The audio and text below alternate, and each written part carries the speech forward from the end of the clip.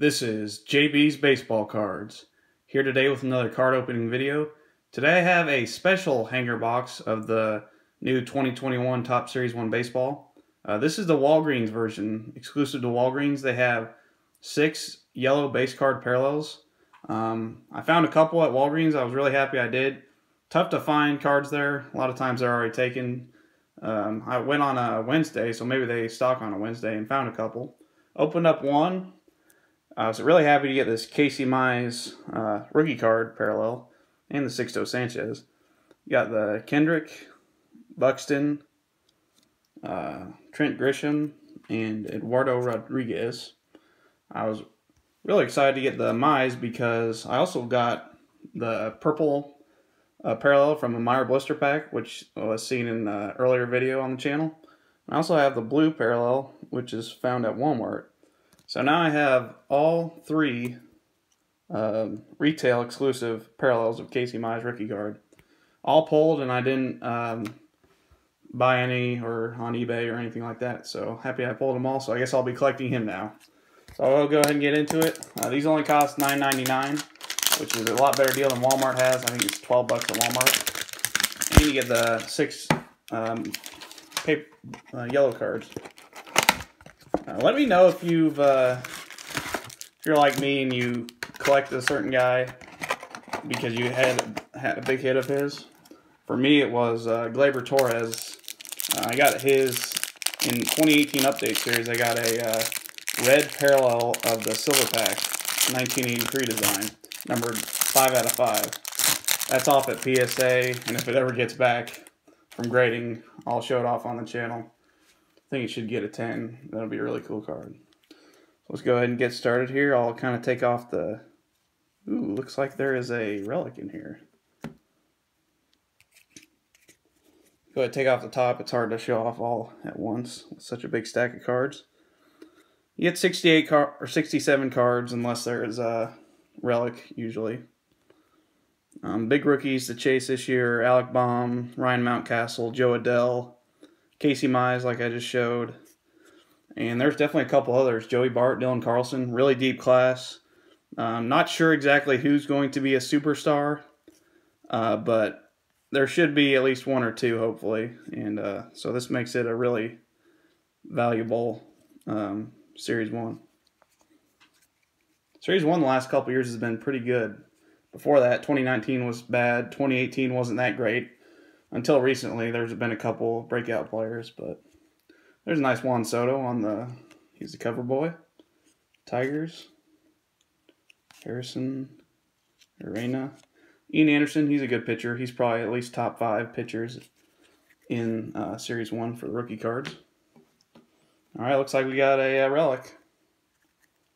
It's a thick card, you can tell. Let's see what it is here. Oh, it's a Cub. Nice. I'm a Cubs fan, uh, if you didn't know. And so I'm happy to get this. Kris Bryant. Oh, nice. With the pinstripe. Very happy to get that card. Awesome card. Really happy. No matter who I get in the yellow parallels, I'll be really happy with this.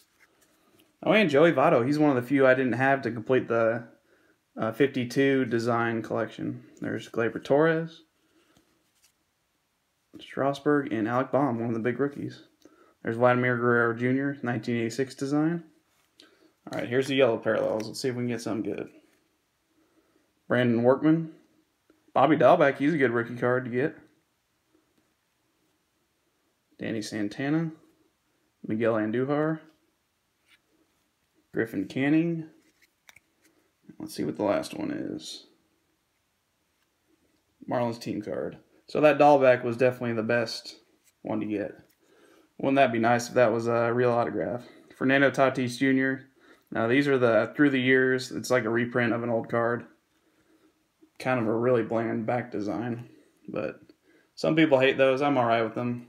Uh, I think people hated them at first because they uh, got psyched out and thought they got a really nice hit, but they didn't end up getting one. So I'd say a really good box, even if I don't get another good rookie. There's a nice Luis Robert Gold Cup. Rookie Cup there. Lindor now with the Mets. Got the Kris Bryant relic. And of course, got the yellow parallels. Varsho,